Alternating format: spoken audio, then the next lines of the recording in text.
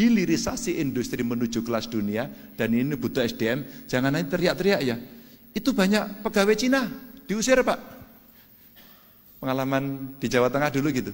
Ya udah kita usir aja besok pagi. Tapi kamu bisa gantikan nggak?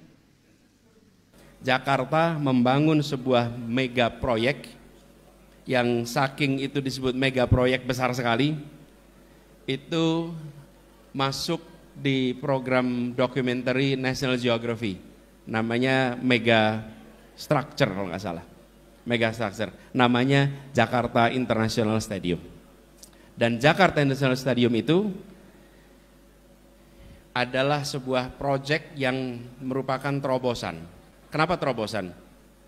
Jadi begini, pada saat kita bertemu dengan fase persiapan, kita sampaikan ini harus selesai akhir 2021.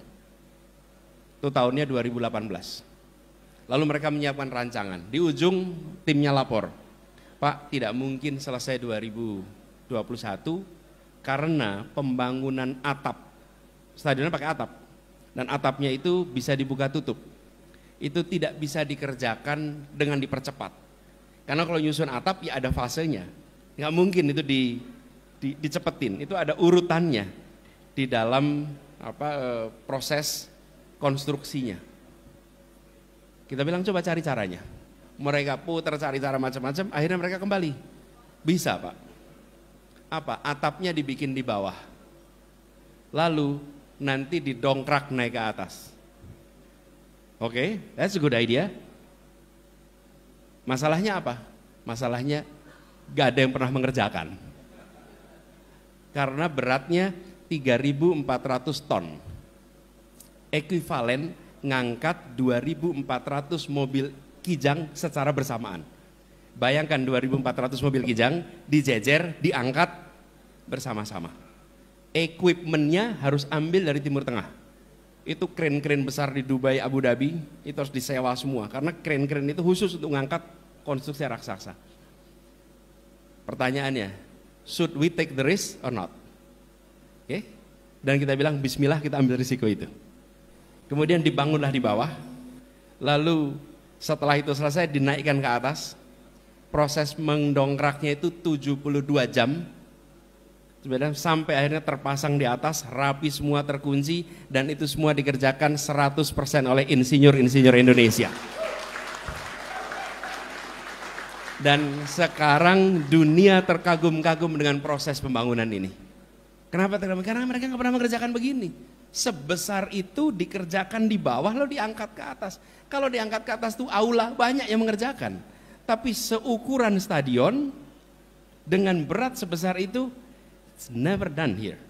Dan itu dilakukan oleh anak-anak yang dilahirkan ibu Indonesia, dididik sekolah Indonesia dari universitas-universitas di Indonesia. Jadi saya bilang saya setuju sekali, jangan pernah meremehkan didikan anak bangsa ini. Jangan pernah. Dan buktinya banyak sekali, banyak sekali.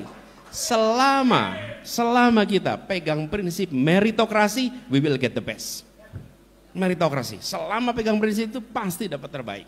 Dan kita sudah merasakan di Jakarta. Hari ini kita bangga sekali.